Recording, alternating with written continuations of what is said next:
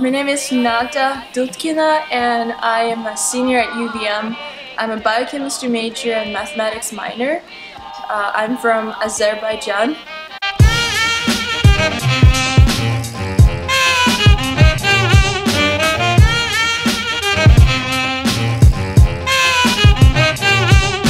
So my research is it's it's basically we're trying to imitate nature, synthesizing um, from scratch this cool cool structures that actually don't exist in nature, but uh, we're trying we're using nature as a template for us as an inspiration to get this interesting um, molecular structures.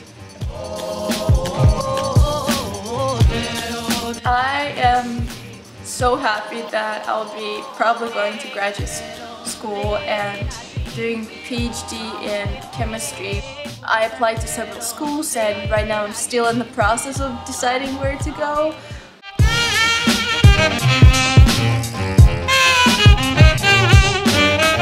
Meeting so many people from all over the globe and from all over the states helped me to learn about seeing other people who are different from me as just a source of knowledge and um, it was it was very interesting coming here and noticing all this diversity uh, of students and how university is trying to create the space for everyone where every single voice is heard. So I'm very grateful to UVM for all people and faculty members and all the great experiences I had.